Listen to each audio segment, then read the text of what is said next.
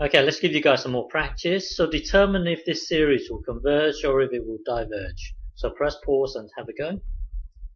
Okay, so the first thing is to uh, is to check that the limit of uh, of this uh, heads towards zero as n travels from two to infinity.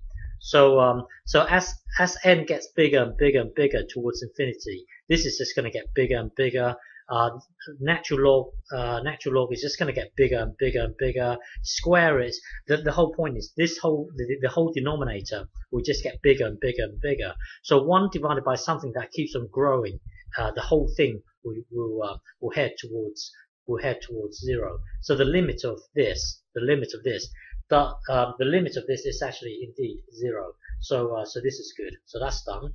Second part. Um, check that uh, check that this thing here is continuous because ultimately we want to be able to compare this to this. There's a theorem that says that if this thing here diverges, then this thing here will, will also diverge. If this thing here converge, this thing here will converge. But in order for us to use that theorem, we need to check these three. So the first thing to check is to to, um, to check that it's continuous. Um, to check checking if it's continuous is really you asking when will this thing break down? Well, this thing here breaks down when the when the denominator equals zero. So so the next question is when will the denominator be zero? Well, here you've got this thing here from two to um, from two to uh, to infinity. This thing here is never zero.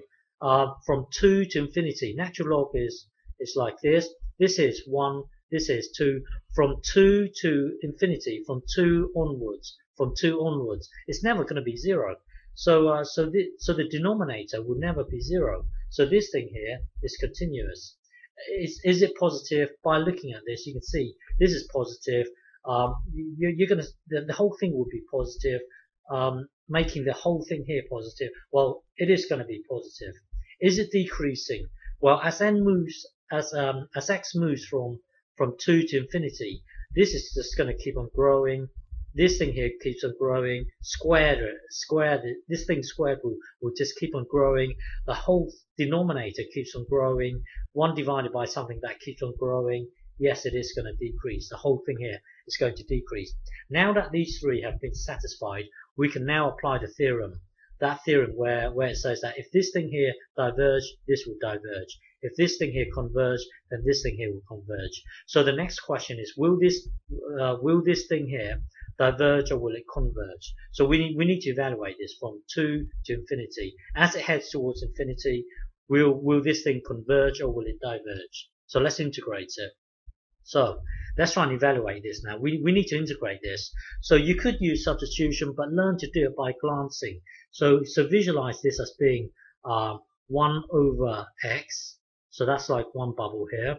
And then, and then here you've got 1 over natural log of x uh, squared squared. So so so visualize this as being one over x, and then so that's one bubble, and then you've got your your natural log uh, uh, to the power of minus two. That's what you've got at, at the moment. Um, so so you're really looking for something. Well, well, you you hang on. Let me tidy this up. Let me tidy this up. Um, you trying to integrate this is really you searching for something in such a way that when you differentiate it, it will give you this. Well, if you look at this here, well, always try and keep an eye on something being the exact derivative of another thing. You see, this thing here, this bubble here, is the exact derivative of this bubble here. So always try and keep an eye on that. So if I were to give you, let's say, um, uh, natural log, uh, natural, let, let, let, let, let's say if I were to give you this, let's say if I were to give you to the power minus 1, bubble to the power minus 1.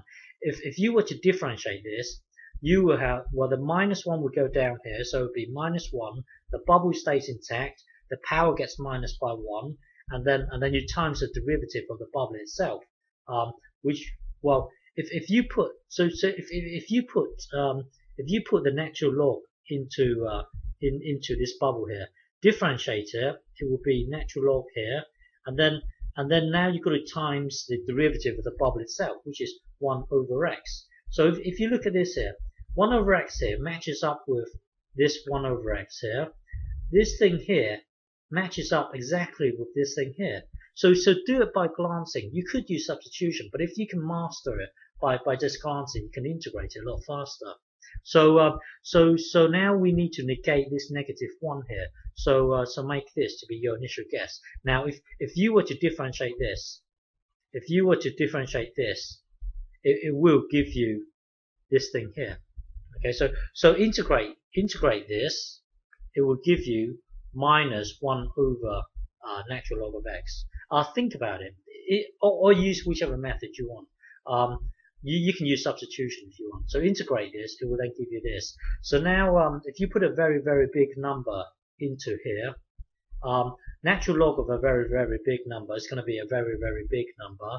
So 1 divide, well, negative 1 divided by a very, very big number is going to be, it's going to head towards 0. And then, and then put 2 into here.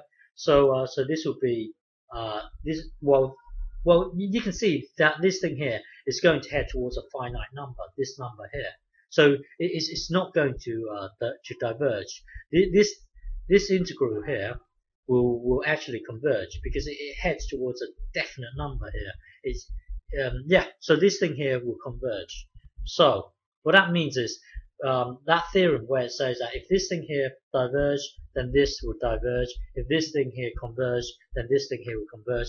Well, we've just established that this integral here will converge. Therefore, the series must also converge. So this thing here will converge.